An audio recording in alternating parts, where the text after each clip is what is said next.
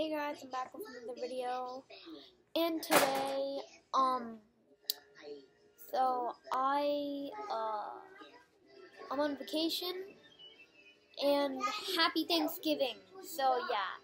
And also, I won't be doing Beyblade videos for a couple days. Cause I am not at my house, as you can see.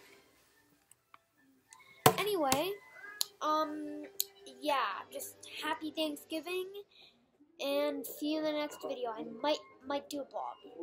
Okay, bye. Also, I'm tired.